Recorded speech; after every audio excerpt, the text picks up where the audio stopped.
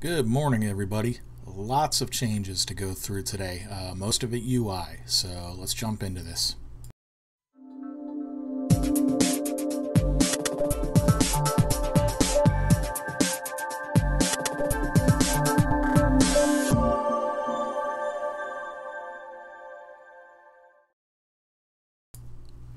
So, a lot of things here to show off. Uh, hopefully, I can remember most of it, but uh, I'll try to go down a list that I have that I've been keeping.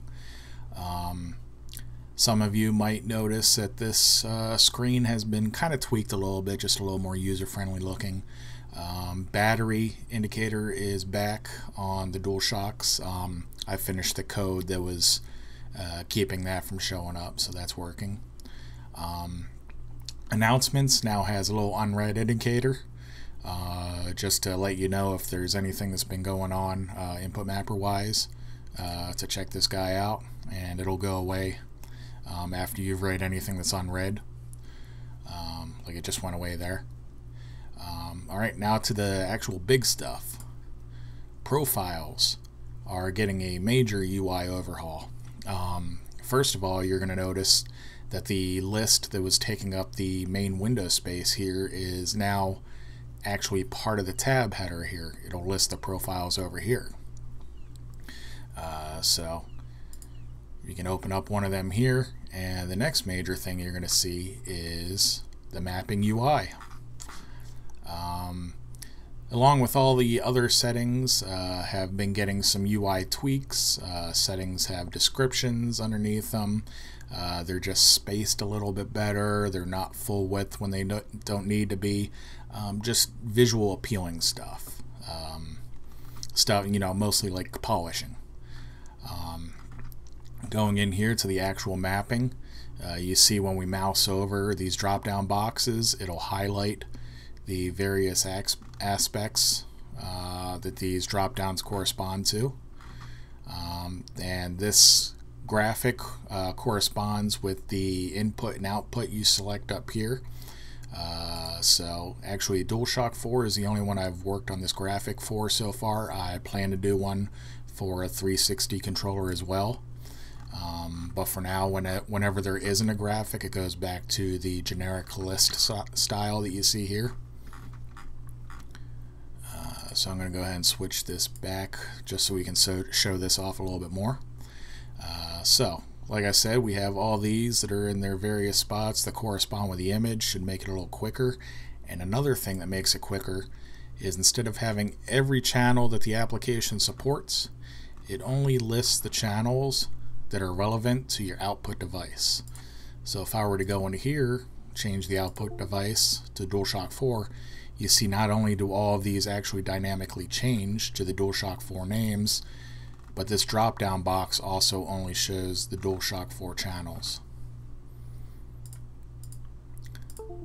So that should make mapping a lot excuse me. I could edit that out but I'm too lazy. Uh, but anyways that should make mapping a lot easier for people. Um, this should lower the entry bar for people that are a little hesitant to this program because it's too complicated. Um, this visual style has always seemed to appeal to people, so uh, that's the way we're going to go with it from now on. Um, as well as I'm going to work on these icons. Uh, right now, these are just fallback icons that correspond to the type of input. Uh, you see if it's a button of some sort, it has this icon. If it's a uh, variable input like a stick or a trigger, it'll have this gauge. Um, but what I'm going to do is I'm going to do it like the old application where you could actually have the the A, B, X, Y um, Xbox looking buttons as the icons. Um, I'm going to find a way to incorporate it so I can override these defaults with custom images if I want to in the metadata. Uh, so we've got that. Uh, there's also a few less settings visible here. Uh, you'll see I used to have a bunch of state, state modifiers and uh, that might be confusing to some people. So by default now there's only one input state modifier. But if you go over here to your general settings, there is a new setting that says show advanced settings. Checking that, Apparently breaks a few things. Huh. Interesting. I'll figure that out later. Oh, nope, now they're back.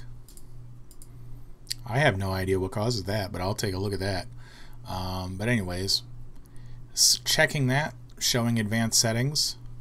Now if we go into profiles, now we see all the state modifiers listed.